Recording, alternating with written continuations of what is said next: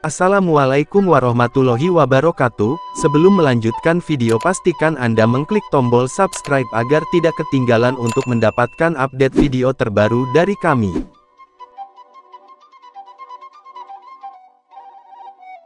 Prabu Siliwangi adalah putra dari Mahaprabu Niskala Wastu Kancana. Prabu Siliwangi lahir di Kawali Ciamis pada tahun 1401 Masehi, memiliki nama asli Raja Jaya Dewata, dan mendapat gelar Prabu Dewata Kala.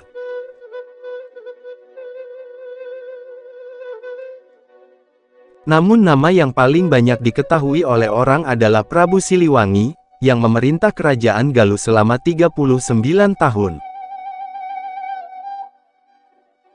Siliwangi adalah julukan yang diberikan rakyat Sunda kepada sang raja yang memerintah dengan adil dan bijaksana. Prabu Siliwangi konon memiliki ratusan istri dan banyak keturunan. Para sejarawan mencatat dari naskah kuno dan beberapa sumber sejarah menyebut, bahwa jumlah istri Prabu Siliwangi berjumlah 151 orang.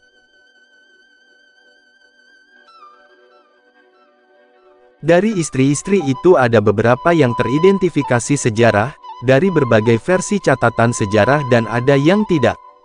Dan istri yang paling terkenal adalah Kentring Manik Mayang Sunda dan Nyai Subang Larang. Dan menurut naskah Carita Ratu Pakuan, Siliwangi menundukkan kerajaan-kerajaan di tanah Pasundan bukan dengan peperangan melainkan dengan perkawinan, Prabu Siliwangi memperistri putri dari kerajaan-kerajaan tersebut.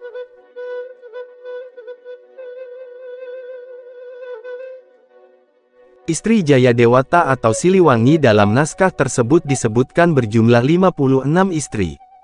Dalam naskah tersebut, dari sekian banyak istri Siliwangi tidak diceritakan dan tidak diketahui tentang siapa yang menjadi permaisuri. Dengan tidak merinci mana yang permaisuri dan mana yang selir, semua diperlakukan sama, Hal ini lantas menimbulkan spekulasi bahwa semua istri-istrinya diperlakukan layaknya permaisuri. Dari sumber lain menyebutkan bahwa istri Siliwangi yang dijadikan permaisuri adalah Kentring Manik Mayang Suraputri dari Kerajaan Sunda di Pakuan tepatnya di Bogor.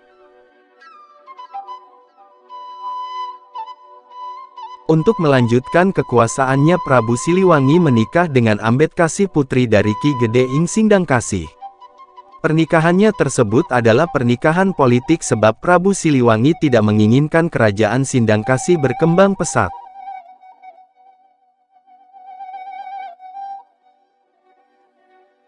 Dan dengan pernikahan tersebut maka kerajaan Sindang Kasih tunduk pada kerajaan Galuh yang dipimpin oleh Prabu Siliwangi.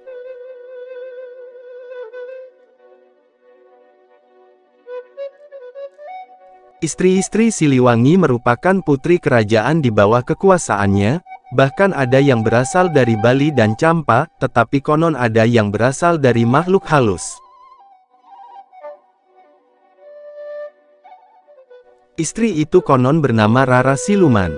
Dengan bangsa makhluk halus ini, memiliki tujuh anak, sebagaimana dikisahkan pada buku, Waosan Babat Galuh dari Prabu Ciung Wanara hingga Prabu Siliwangi Naskah Kraton Kasepuhan Cirebon, terjemahan Aman N. Wahyu.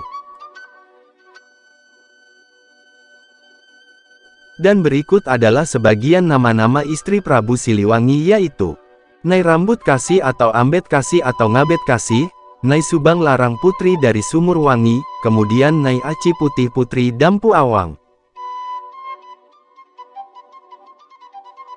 Nai Kentrik Manik Mayang Sunda, Pewa Herang Manik atau Si Cantik Raja Mantri, Nai Janur Larang Bancana, Nai Bungasari, Nai Sriwati. Nai Limur Kasih Putri Pasir Batang.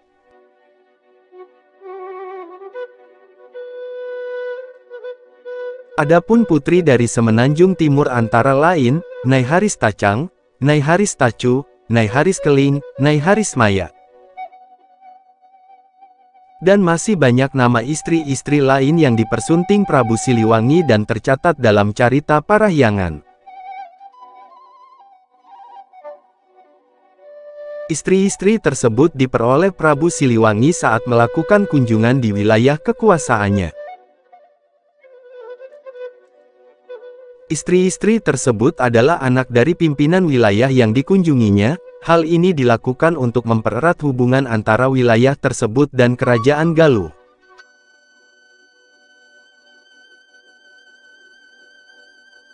Kemudian anak-anak dari pernikahan Prabu Siliwangi dengan para istrinya dijadikan pimpinan wilayah di daerah asal istrinya. Hal ini sangat efektif dan membuat kekuatan kerajaan Galuh semakin kuat.